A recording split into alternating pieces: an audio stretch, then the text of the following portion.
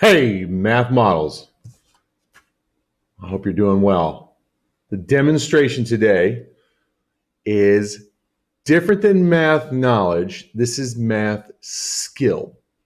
So, the topic we've talked about in class has been preparing for perhaps your first job this summer.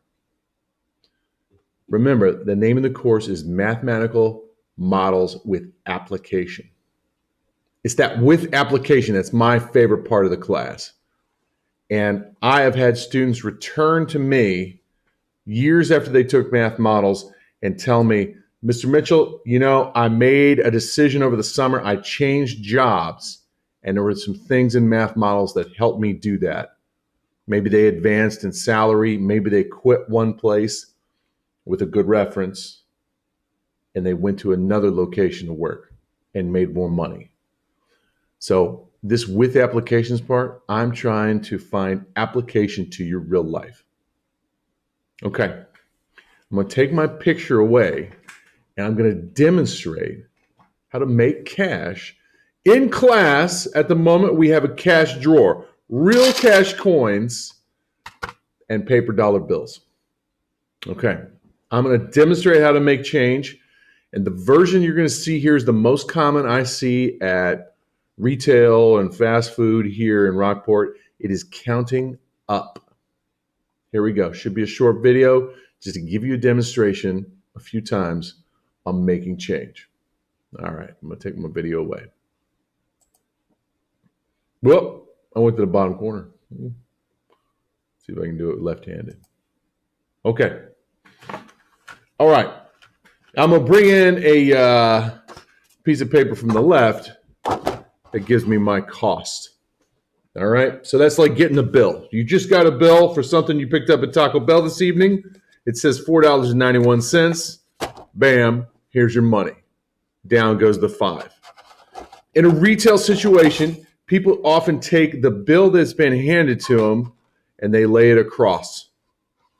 All right. Maybe they lay it across right there so they can count up the change. So remember, my cost is $4.91. I need to make change on a five. No, I think I can do that. I'm counting up 4.91. That's in hundredths. Well, let me see. In 0.91, I'm going to start counting my pennies 92, 93, 94, 95, 9 cents. 9 makes 5. So this is what I would hand back to somebody that just given me a $5 bill. Their change would be 9 cents. Okay, that wasn't bad. But let's try it again. Taking this one away. This time, somebody hands me a 10. Well, it cost us $4.91 and they've given me a 10. All right, I lay the 10 across. I'm going to do the same thing. I'm going to make up the difference to my $5 bill here. And then because they gave me the 10, I need to remove the 5 and I hand them back their change. Here's your change, sir. $5.09, the change off 10. Realize we're counting up. We start with the cost then we start adding singles until we get to a different unit. One, two, three, four gets me to 95. Five cents gets me to $5. Five more dollars gets me to that 10. Okay, not bad. Not bad. Put the 10 back in there, put the 5 in here. Here we go with another demonstration. Mm. How about Here's your bill. It cost us 66 cents. And then, as you might, a common bill in the wallet, 20 bucks. All right, they gave me the 20. In comes the 20. I lay it across so I don't get confused. This is what I'm making my change on. And remember, let's see, $14.66. I'm going to have to think. 67, he dropped the penny. Okay. 67, 68, 69, 70. I've met plenty of people that count out loud. There's my 70 cents, 75 cents. Reach over, and a quarter makes $15. Remember, my cost is 1466. With this change, I have gone 67, 68, 69, 70, 75, a quarter. That makes 15. I need to remove a 5. There's change on the 20. So it comes out to $5.34.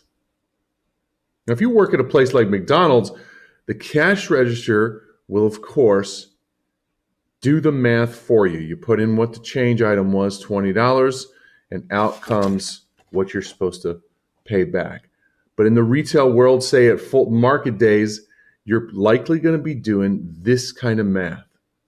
So if you and I went down to Fulton Market Days and we sold orange juice, glasses of orange juice with a little bit of tax, we'd be making unusual amounts of change here. The easiest way, the recommended way to do it and it's part of how they teach math to children these days, is to count up. My ones, this satisfies my tens place, and or my fives place. I had 25 cents. I bolted that to five dollars, and I finished my change on the 20 with five more dollars. So this went, sorry, this went to 15, that went to 20. Okay. Mr. Mitchell confused things there for a second. Put some money back in the drawer.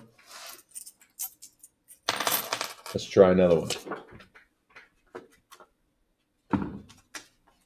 Bill comes in. Mm, this sounds like maybe uh, lunch cost at Popeye's Chicken here in town. Cost us seven dollars and forty-eight cents.